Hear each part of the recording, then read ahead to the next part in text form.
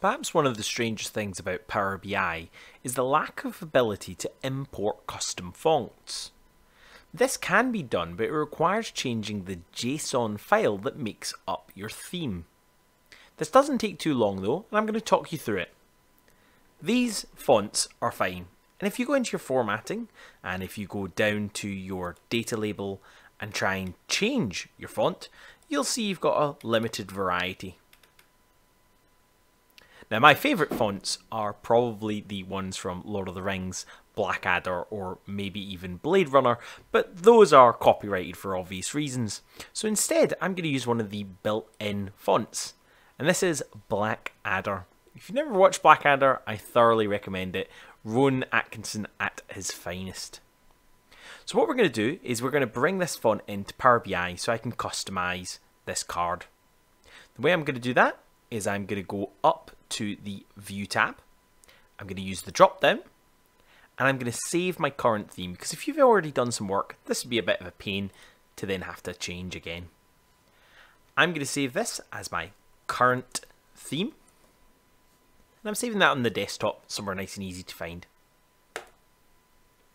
I'm then going to switch to my browser and what I'm going to do is open up one of the free online editors now, if you're lucky enough to have something like Visual Studio, then you could simply open your JSON file in that. I'm using one of these online ones because they have all the formatting good to go. I'm going to go to Open. I'm going to choose to Open from Disk. I'm going to grab my current theme. And I'm going to click on this little format icon here, just so it comes out in a nicer layout. I've got the name of my theme up the top all the default colors. So if I want to change some of the default colors, I could do so. I've got my background, foreground, a whole bunch of settings, but the one I'm interested in is text classes. So right now it's set here to the default font, but I want to bring in my Blackadder. So the first thing I'm going to need to do is just check the spelling on that. So we've got Blackadder space ITC. So I'm going to replace Blackadder, ITC, and I'm going to replace each of my fonts with this. You've also got Control H to do a finding and replace.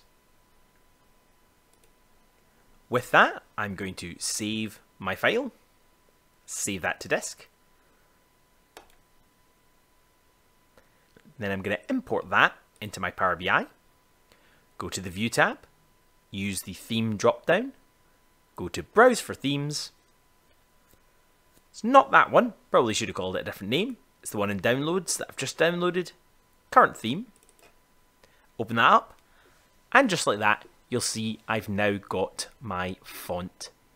Of course, if I want this to be different to the default, I can always still go in and just change it to a different font. Now, one thing you do want to bear in mind is whilst this does work when you upload it to Power BI Service, it will only be able to use this custom font if your user has it on their local computer.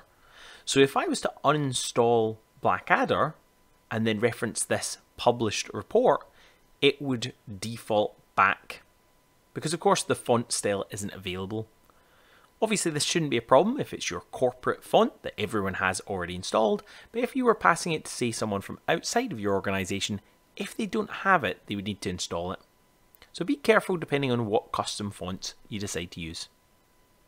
I hope you've enjoyed this Wise Owl short, and hopefully in the future I'll be able to do another one where they have this feature good to go already.